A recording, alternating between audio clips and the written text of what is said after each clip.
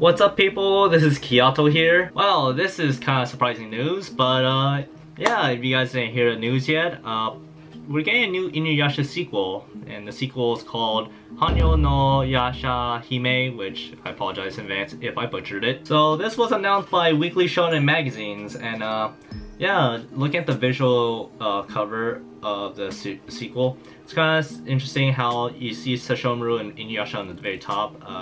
Don't know how many years has passed, but definitely more than a decade in the series, have to say.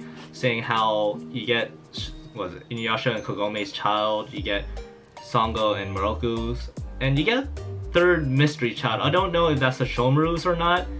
Could be for someone from modern, uh, modern world, but uh, I'll go in more detail talk about it. Well yeah, talk about Inuyasha. Uh, last time I remember the series ended back in 2010 and that series began late 1990s. So I have to say I think it was mm, the most popular series that Rumiko Takahashi, who is the author, I think that was the most popular series known in the community. I, from at least my perspective. I mean, there was Ranma one and a half, but yeah, um, there has been series that she did work on after Inuyasha ended. You got Rinne, Mao, which Mao I think is the most recent work, 2019. So I'm going to put the Twitter link below, but here's the character design images that were uh, you know shown on Twitter. Uh, this one, you can definitely tell it's Sango and Miroku's child just from the appearance of it. Uh, she's wearing the demon slaying armor, which Sango and her family typically wears, so, you know, when slaying uh, demons, so get definitely tell from that. For this character, you can definitely say it is Kagome and Inuyasha's child.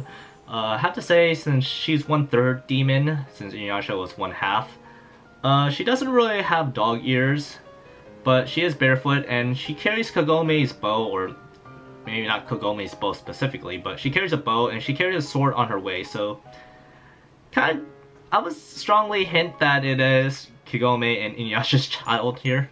And here is the third kid. I don't know if it's Sesshomaru's kid or if it's a new character from, you know, modern day time because, you know, Inuyasha was isekai in a sense eh, with the whole modern day time and the historical uh, era. Uh, that being a big plot in the Inuyasha series, so I don't know if that will be a huge uh, role in the series again. But yeah, it's kind of vague just for a sense that, you know, we just got the key visual art. So maybe more news about it later on will give us a sense of what the series is going towards. So I'm pretty excited for the series. Um, there are some questions that I hope do get answered later on of Hanyo no Yashahime. Uh, sorry if I uh, butchered the name.